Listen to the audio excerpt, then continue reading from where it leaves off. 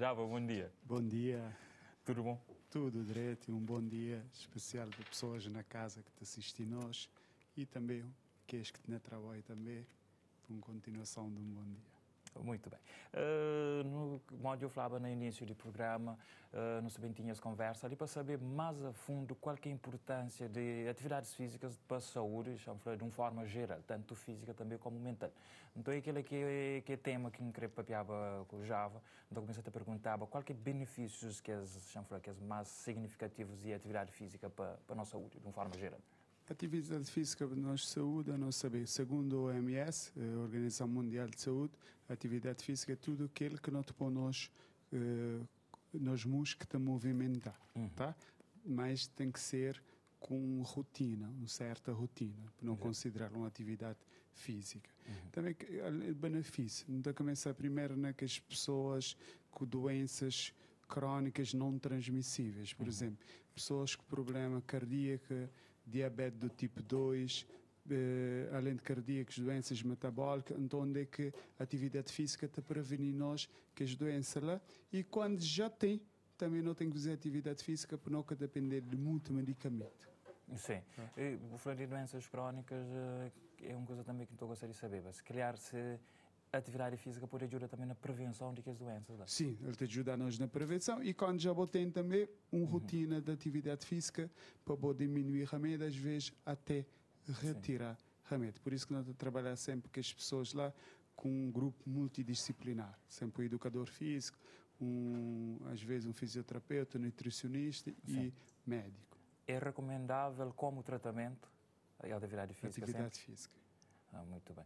Uh, uma curiosidade que sempre está levanta é para a educação, para atividades físicas, tem limite, sempre tudo tem limite, mas qual é o limite recomendado para atividade, física? atividade física nunca tem uma idade que não pode dizer não te começa ou uma idade que não te termina. Sim. Só é cuidado quem que está para escrever porque é atividade física, tá? Uhum.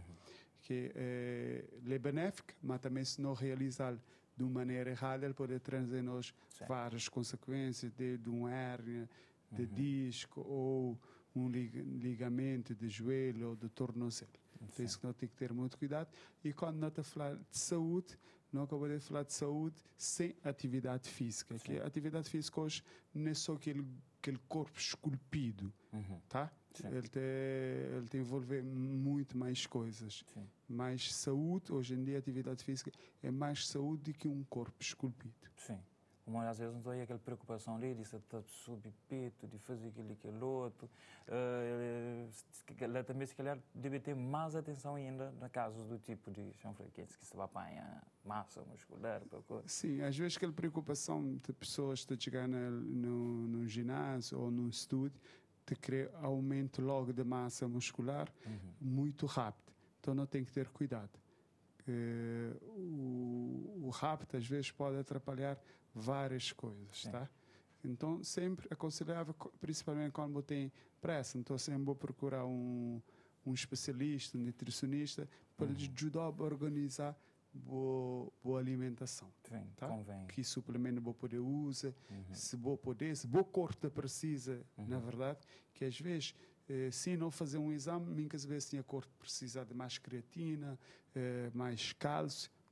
Então Sim. não tem que ter sempre esse eh, cuidado, que às vezes também não pode estar a gastar dinheiro ah, e tá. que está trazendo hoje um benefício no suplemento, que às vezes o corpo já está a produzir aquele que o precisa. Uhum.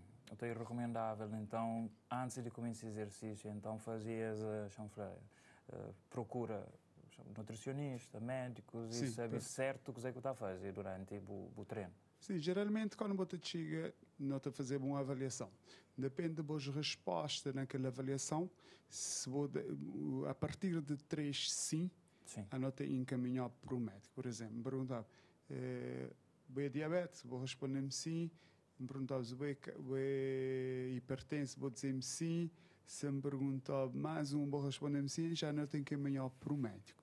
Sim. Ele vai liberar se vou poder fazer atividade física ou não. Sim. Naquele período que os níveis de açúcar ou o eh, nível de hipertensão está alto. Sim. Uh, Java, e um outro, outro assunto que não te queria saber ali é qualquer benefícios para, de atividade física para pessoas que se encaminham para, para envelhecimento. E eu queria saber isso ali também. É, a atividade física, ele te libera a parte hormonal, uhum. principalmente, por exemplo, homem, às vezes que queria treinar muito parte inferior, mas é muito importante para aumentar a parte hormonal, produção de testosterona, uhum. né? Tá? É mais na membros inferior que não te liberal. É, também não poder atrasar mulheres a entrar na menopausa quando uhum. fazer atividade física, né?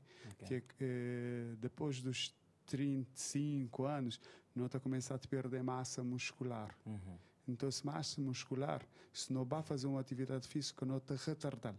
E aí não está retardar hum, várias coisas, Sim. várias coisas benéficas para nós. Uh, aposentadoria, sim, né? como você falou, que é uma idade que a outra tem tempo de viagem, mas às vezes, se boca fazer uma atividade física ou ter uma vida regular, sim. tem não só atividade física, mas nós alimentação, cuidado na álcool, aí não vai poder viajar, que não está tudo doente, na época que não tem que aproveitar. Sim, pois. E sem falar também que a atividade física, ou que você tem caminho para a terceira idade, é bom também para que a pouco naquele... A partir do momento que começa a, a idade está subir, que o corpo começa a dizer, uma atividade física, se calhar, lá, claro, mais moderado, é bom também para evitar que, que nosso pessoal de terceira idade que também Sim, a atividade física hoje já se para ser autónoma, né? Uhum. Então não tem que preparar, por exemplo, para subir uma escada, para fazer essas compras, e lá não é só caminhada, que às vezes as pessoas têm aquela ideia que é só parte cardiovascular. Uhum. Quando na uh, terceira idade, ou melhor idade, como tu costuma dizer, eles precisam mais de um parte muscular de que cardiovascular. Mas Sim a junção das duas é sempre melhor. Sim. Onde é que isto poder, por exemplo, te base um escada, precisar de parte muscular, precisar de massa muscular. Então, é se treino até um treino de força, uhum. tá? uma força dinâmica. Sim. Não muito repetição para mim que, mim que estragar as articulações, já que está tão bom, uhum. tá? mas para o mental, ser massa muscular. Então, qual é um dos benefícios para a atividade física. Sim. Não só na terceira idade, mas também nos jovens hoje em dia, jovens e crianças.